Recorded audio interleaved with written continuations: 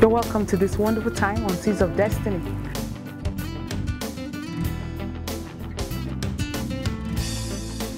Our Seed of Destiny is titled today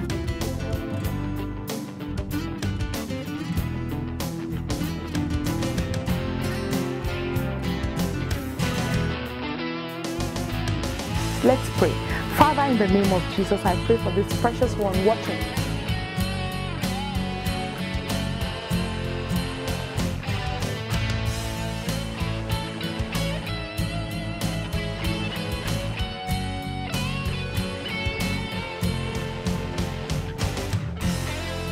Vision is behind the making of runners.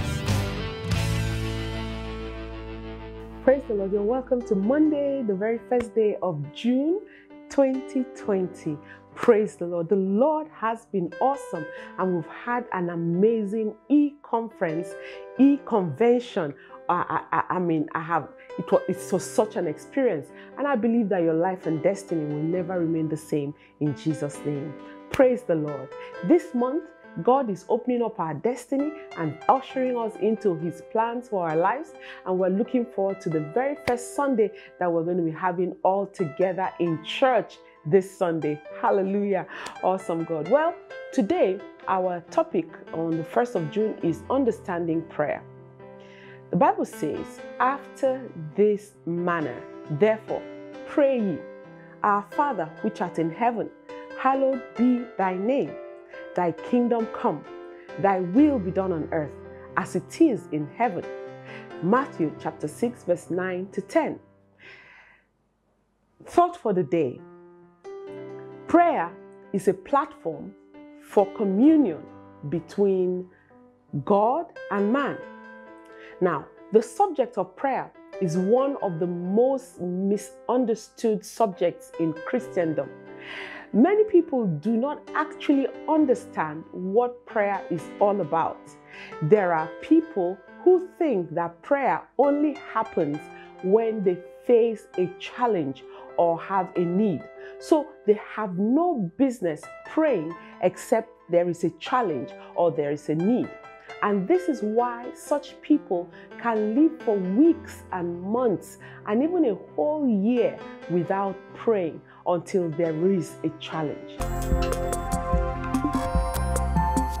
Beloved, is this what prayer is about?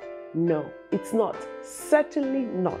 Now, the question is what is prayer about? First and foremost, we must understand that prayer is a platform for communication between God and man. You see that in Matthew 9 6 9a where, where the Bible says, Our Father, which is in heaven. It portrays a communion or communication, a relationship dimension of prayer. Prayer is a platform for communion between God and man. Number two, prayer is a platform for the offering of thanks and praise and worship to God. Matthew 9, 6, 9b. Now, hallowed be thy name. That entails worship. It entails the thanks dimension, praise dimension, worship dimension. This is the dimension of, of prayer that the only reason to pray is the offering of thanks, praise, and worship to God. This is called the prayer of adoration. So, prayer is not only about asking God for something, but also the offering of thanks and praise and worship to God. Thirdly, prayer is the platform for the establishment of the rule and the will of God in the earth. Matthew 6:10 Thy kingdom come, thy will be done on earth as it is in heaven. Matthew 6:10 This entails the establishment of the rule and the will of God in the earth. One reason for our concern um, our passion, our prayer for our nation is that what is happening here, like in most places in the world today, is contrary to the will of God for a people. So, prayer is the platform where we enforce and establish the will and the program and the agenda of God on the earth as it is in heaven. It is a platform where we enforce what God wants in our lives. So, beloved, having understood what prayer entails, my counsel is, or our counsel is, make up your mind to pray effectively. Take prayer um, uh, passionately. Uh, uh, take a prayer platform for buoyant communication with God, uh, for offering God thanks and praise and worship, and for having Him establish His rule in your life and on the earth. Praise the Lord. Remember this that prayer is a platform for communion between God and man. Praise the Lord. What's our assignment today?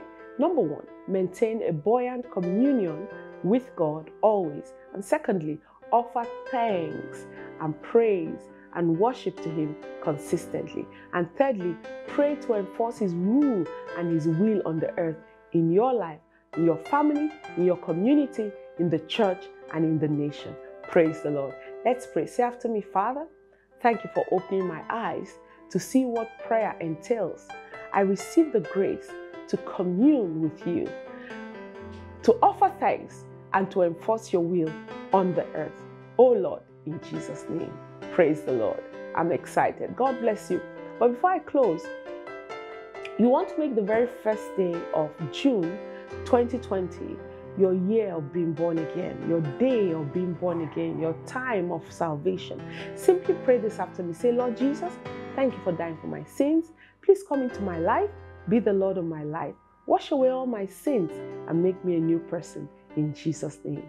Amen. Praise God. Hallelujah. The Lord bless you. Have yourself a wonderful day today in Jesus' name. I'm going to ask that um, we're going to have uh, us cue the song that uh, uh, we sang as a family, Dr. Paul Enenche family. Um, it's a song I received. I just woke up out of sleep with the song, singing the song, and uh, we went ahead and recorded it. We're going to play it, cue it immediately, immediately after the Seeds of Destiny, because that's what today's uh, write up talks about. Father in heaven, and I believe that you'll be blessed. Have a wonderful day in Jesus' name.